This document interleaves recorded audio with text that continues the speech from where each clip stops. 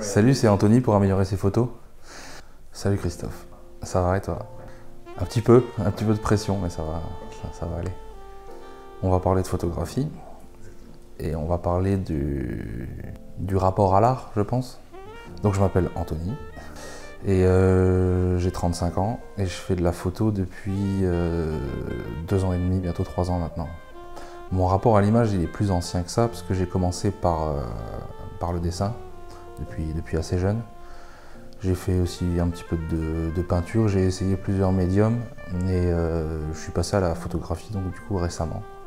J'ai toujours été très très attiré par l'image et par les images, donc euh, par le cinéma, par, euh, la photographie aussi. Et, j'ai décidé de franchir le pas un jour parce que vraiment je me sentais attiré par ça. Je me sentais attiré par le médium photographique et j'avais envie d'explorer aussi ça.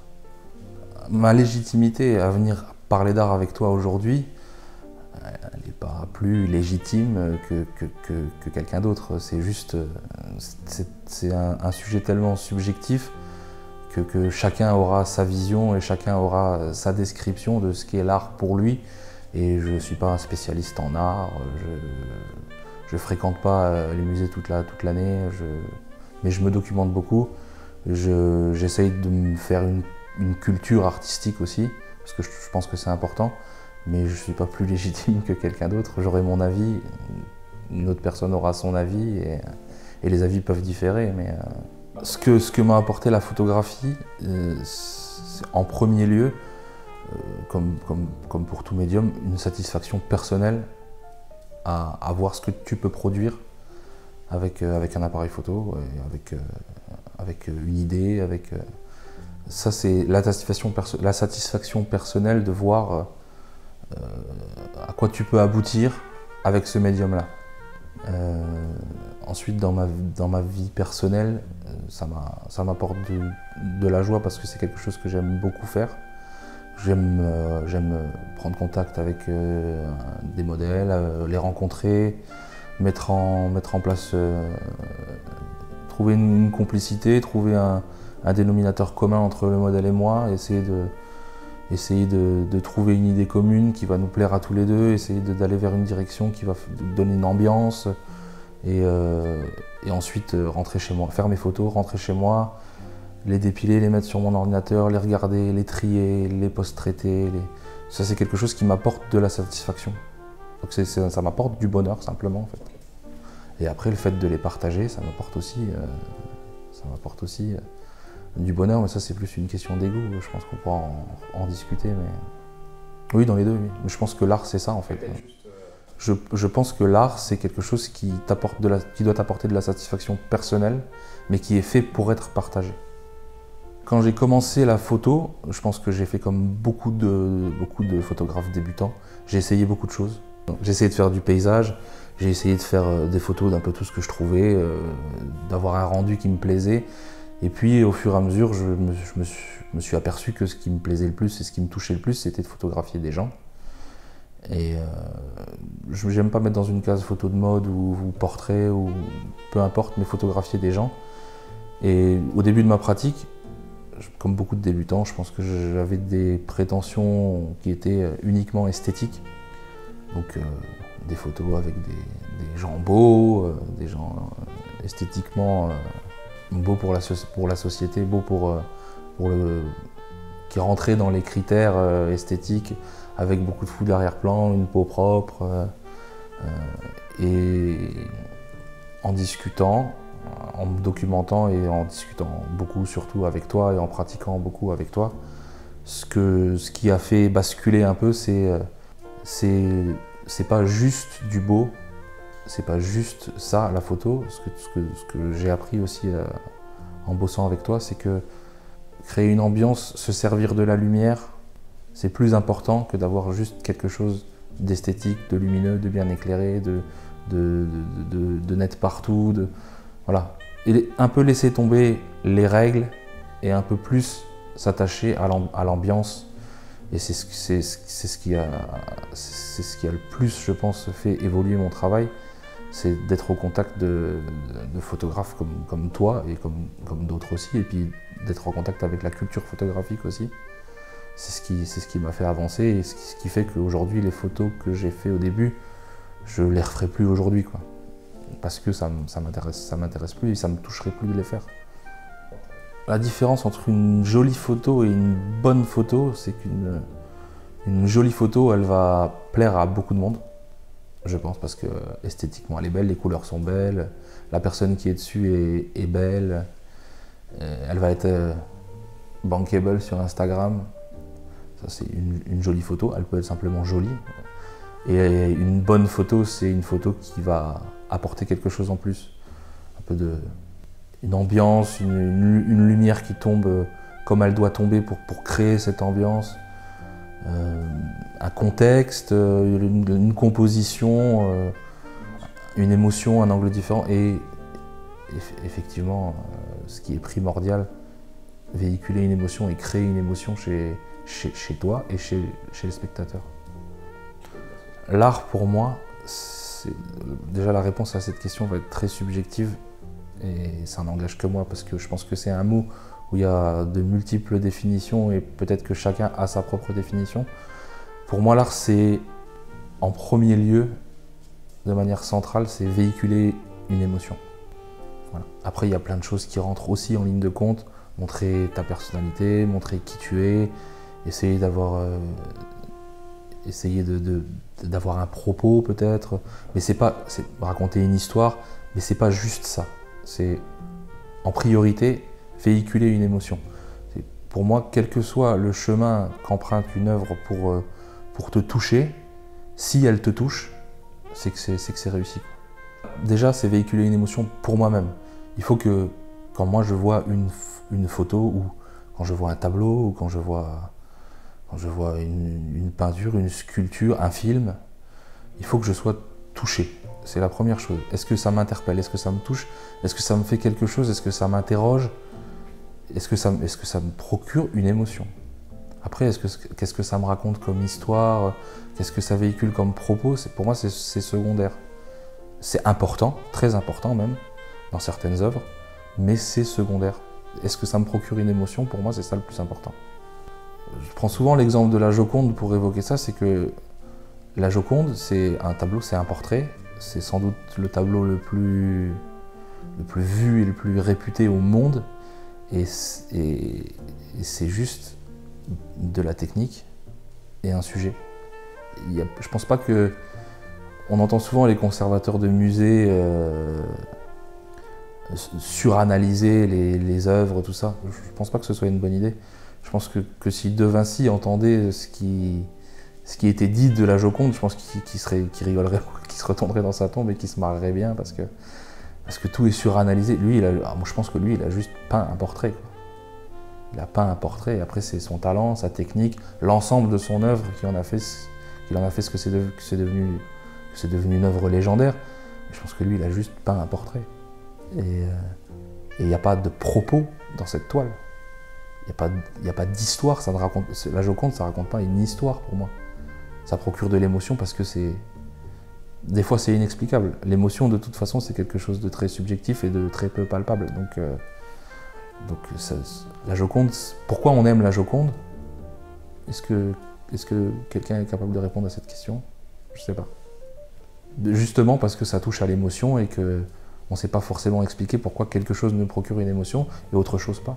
Donc euh, euh, la, la, différence, c'est, elle est là. Chez certaines personnes, une toile de Pollock ou de Mondrian, ça va, chez moi, par exemple, ça va, ça, va rien me procurer comme émotion. Pourtant, c'est des artistes majeurs, ils sont dans tous les musées, dans, toutes les, dans, toutes les, dans tous les livres sur la peinture, sur euh, l'histoire de l'art. Voilà. C'est très subjectif. C'est pas parce qu'un artiste est dans tous les musées et dans tous les livres d'histoire de, de, l'art que, tu es obligé d'apprécier son œuvre ou qu'elle te touche. Encore une fois, c'est propre à chacun c'est extrêmement subjectif et c'est ça qui fait la beauté de l'art. Si l'art était uniquement dans les livres et dans les musées, la vie, enfin, ce serait triste, quoi. On, serait un peu chier. Quoi. Il y a l'exemple de, de, Bansky, celui qui fait les, le mec qui fait les graffitis un peu partout où il passe là, qui maintenant se retrouve dans les musées et ses toiles sont vendues à, prix d'or et tout ça. Ses œuvres sont vendues à prix d'or, mais le mec, au départ, il n'avait pas vocation à se trouver dans les musées. Son art, il était dans la rue. Et, euh, l'art, il est potentiellement partout. Je n'ai pas cette prétention, non. Je n'ai pas la prétention d'avoir trouvé mon style. J'ai trouvé ce que j'aimais rendre comme image. J'ai trouvé ce qui me touchait, de montrer et de faire mais j'ai pas trouvé mon style. C'est très prétentieux de dire j'ai trouvé mon style et j'ai ce style et j'ai cette patte. Il y a très peu d'artistes qui peuvent se targuer d'avoir leur patte, mais il y en a. Et quand ils l'ont, ça s'entend tout de suite. Il y a un exemple très bête, c'est t'entends les premiers accords de n'importe quelle musique de YouTube, tu sais que c'est YouTube parce que, parce que la, guitare de, The Edge, c'est un son reconnaissable entre tous. Tu sais dès les premières notes que c'est du YouTube. Avoir une empreinte, avoir une patte avoir euh, quelque chose qui fait que visuellement on sait que c'est toi tout de suite, je pense que c'est quelque chose qui prend du temps. Et c'est pas quelque chose. C'est pas toi qui dois partir à la recherche de ça, c'est quelque chose qui va se trouver sur ton chemin à un moment donné de manière, euh, de manière naturelle, ça va s'imposer à toi, je pense. Je pense que c'est important de réfléchir euh, un minimum à ce, que tu veux, à ce que tu veux rendre comme ambiance quand tu pars par exemple sur une séance avec, avec un modèle de réfléchir un minimum à ce que tu vas faire. Mais moi, je suis plutôt du genre à pas trop réfléchir. C'est pas trop suranalyser en amont. C'est-à-dire pas me faire un script, pas me faire je vais faire ça exactement, pas faire de mise en scène. C'est plus lifestyle. Et effectivement, tout le process est important du début à la fin. Souvent, quand tu prends tes photos dans un endroit, tu, te dis ah, ça marche pas super bien, je vais changer d'endroit. Et finalement, tu as gardé les photos. Finalement, quand tu rentres chez toi, tu mets les photos dans, ton PC et tu te rends compte que là, finalement, bah, si ça marche, il y a des choses qui marchent que tu n'avais pas vues. Une composition que, qui s'est faite de manière fortuite et que tu n'avais pas fait gaffe et tu n'avais pas réfléchi à ça forcément, mais en la voyant, tu peux porter une analyse supplémentaire à l'image. C'est tout le processus de, la réflexion de la réflexion de ta séance jusqu'à ton post-traitement, tout est important et tout rentre en ligne de compte créer une œuvre qui, fait sens et qui, est touchante. Pour moi, c'est pas moins bien, non. C'est pas moins bien pour moi de, se rendre compte après coup qu'une image a fonctionné alors que tu ne l'avais pas réfléchi en amont. C'est pas, pas, grave. Pour moi, c'est pas grave. Euh, je reprends l'exemple de Pollock, Jackson Pollock. Il fait, euh, je pense qu'il y a des gens qui savent un peu ce qu'il fait. Il fait euh, des espèces de, de tours de pinceau comme ça en laissant couler la peinture je pense que de toute façon, il ne maîtrise pas tout. Et c'est ça aussi la photo, c'est pas tout maîtriser. Tu ne peux pas tout maîtriser. Il y a forcément des choses que tu, qui vont t'échapper et qui vont faire que ça va être ben, soit mieux, soit moins bien que ton idée de départ. Mais, euh, mais il y a le hasard aussi qui rentre en ligne de compte. Alors, est-ce que je pense qu'on fait de l'art pour soi ou pour la reconnaissance des autres? Euh, Je pense que c'est un peu des deux. Je pense que on le fait d'abord pour soi, parce qu'il faut aimer ce qu'on fait et il faut, pour pouvoir présenter euh, à d'autres euh, tes, photos ou tes peintures ou tes œuvres, il faut les aimer un peu soi. Sinon, c'est pas possible, sinon, t'es pas crédible. Donc, euh, c'est d'abord pour toi, d'abord pour ta satisfaction personnelle, d'abord pour t'exprimer. C'est un peu cathartique comme. comme la photo, la photo c'est quelque chose de très intime parce que tu essayes de montrer ce que toi tu vois dans une scène et comment tu le vois, mais c'est ça peut être interprété tout à fait autrement que ce que toi tu, as, voulu, exprimer. Euh, est-ce que c'est important plus pour moi que, pour les autres? C'est plus important qu'une photo me plaise à moi qu'elle plaise à mes abonnés sur Instagram par exemple Oui. Maintenant, tout le monde a un ego tout le monde a besoin de reconnaissance et c'est quelque chose qui fait aussi marcher l'artiste, de, savoir que ce qu'il fait ça plaît. C'est simplement, simplement de l'ego, c'est simplement l'autosatisfaction. Enfin, c'est pas de l'autosatisfaction, c'est la satisfaction que t'apporte la vie des autres, mais c'est c'est aussi quelque chose d'important de pouvoir montrer ton travail. Si tu le fais uniquement pour toi, ça n'a pour moi pas vraiment de sens.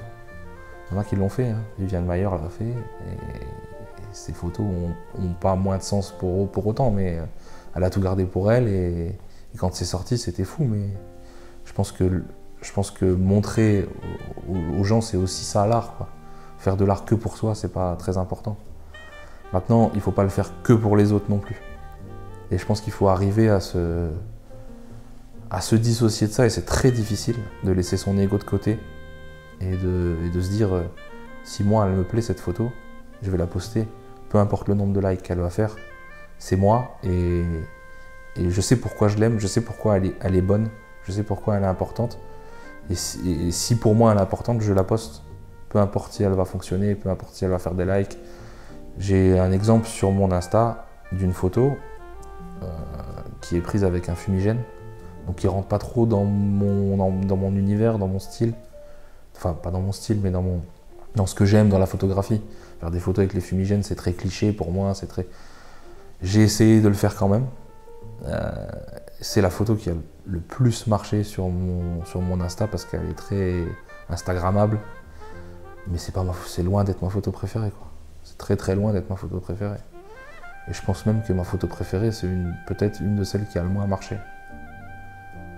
Donc euh, c'est plus important pour moi, mais la vie des autres compte évidemment et, et, le fait que les gens aiment ce que tu fais ou n'aiment pas d'ailleurs, ça fait aussi partie du processus artistique. Si un photographe débutant euh, vient me voir et me demande comment faire pour trouver mon style, euh, je lui dirais qu'il faut déjà commencer par, euh, par avoir une culture minimum en, photographie et ensuite de voir de, se défaire de, l'influence, surtout de l'influence d'Instagram, de 500px, de Flickr, de, et, plus, et plus avoir une réflexion personnelle sur ce que toi tu as envie de montrer, sur, ce que, sur pourquoi tu as envie de le montrer. Et sur pourquoi tu, veux faire de la photographie pourquoi tu as choisi ce médium-là.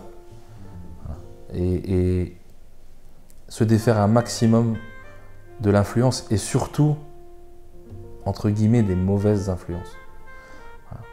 Si on résume, la photo, pour moi, c'est une manière de s'exprimer et de s'exprimer, euh, d'exprimer ce que tu as dans la tête, l'idée, ton idée, ce que, tu, as envie d'exprimer, ta vision, comment tu veux l'exprimer, comment tu, comment tu vois la chose, comment tu vois une scène, comment tu...